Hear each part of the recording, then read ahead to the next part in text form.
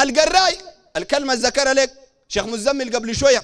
الجا قال القرآن المدني ده قال الشغل بتاع ناس قال الآن الشغل اللي بينكرون الناس الليلة على داعش.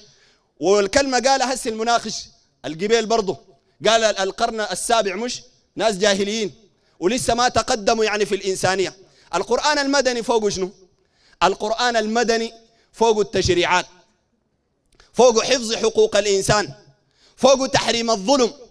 القرآن المدني فوق إنه الزول اللي يقطع له يده. فوق إنه الزول اللي بيزني إذا كان محصن يرجمه إذا كان ما محصن يقوموا يجلدوه ويغربوه. فوق الدعوة إلى الفضائل فوق الدعوة إلى العدل حتى في, في الكلام. ربنا قال وإذا قلتم فاعدلوا. القرآن المدني فوق تحريم الفواحش.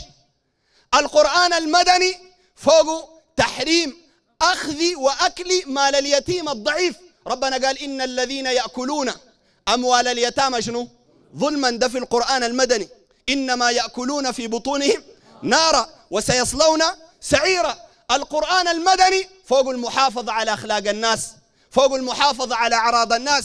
لو قريت سورة الأحزاب كلها عبارة عن حفظ للأعراض وغيرها من التشريعات الحكيمة العظيمة.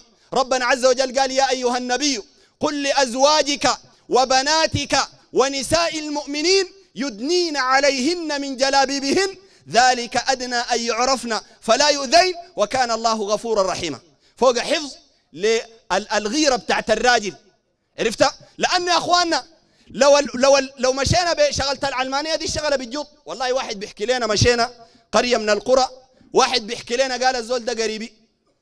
صاحبه عرفتها مشى زنى بأخت الزول ده. كويس؟ الزول ده لما عرف في النهاية زول عام زول ما عنده علم يعني. مشى للزول ده قال له اسمع نغطي الموضوع ده وتتزوجها. وطبعا ده برضه حرام لأنه ده بكون زنا مستمر لأنه ربنا قال والزانية لا ينكحها إلا زان أو حرام. ده يقول لك نغطي الموضوع كده انت طبست الموضوع. فهمت؟ المهم قام قال لها زول تتزوجها. قال لها أنا أتزوج دي. قال لها صلح كلامك. قال لي صلح كلامك. فقام أعاد الكلمة تاني.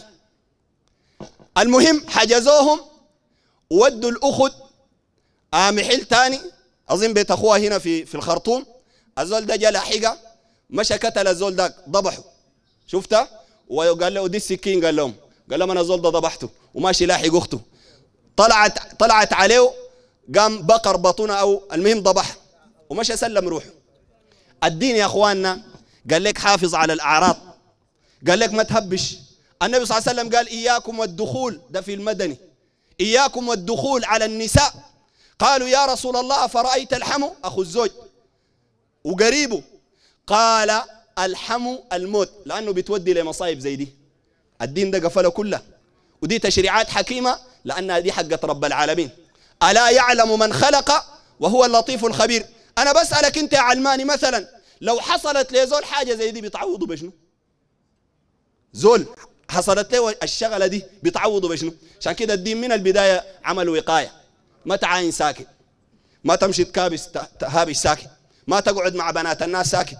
عرفت عشان كده يا أخواننا ناس القراي غايظهم والعلمانيين كلهم غايظهم شنو؟ القرآن المدني. عرفتها؟ وده قل كل من عند الله. وانت لو دار تناقش جيب لنا حاجة أمر بها الدين بتناقض العقل والذوق الصحيح والفطرة الصحيحة التي قام عليها الناس. أتحداك؟ تقول لي العلمانيه البوشي هنا ده في الاعتصام. البوشي هنا قال شنو؟ البوشي قال شنو؟ قال انت قال الواحد قال لما لما يقعد مع حبيبته قال أو لما قال يحب له واحدة وطبعا ده حرام.